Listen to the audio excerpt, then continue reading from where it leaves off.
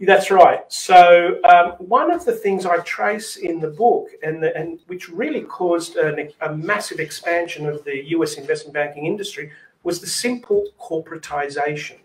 Early on, up until the early 1900s, most investment banks were partnerships, and once they started to corporatize, things like tacit skill and reputation were devalued because an executive or a senior executive within an investment bank could hide behind the corporate veil.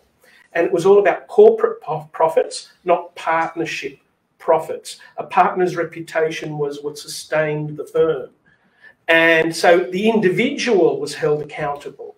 Now, they can hide behind that corporate veil, and it's the corporation, the separate legal person, the separate legal entity that is responsible for the decisions and suable for the decisions made by the senior executives in these investment banks. So that evolved to then um, uh, the the internal management constructing their reward systems and their reward systems obviously were driven by self-interest and that's why you hear about the $50 million bonuses and so on that would never have happened under a partnership in the old days because it was for the greater good of the partners and the several liability um, and joint and several liability that um, they had in mind in undertaking their business practices. That's very interesting, yeah, because I, I, know the structure you're talking about. I mean, some hedge funds operate those structures to some extent, um, where there is partnership uh, and liability.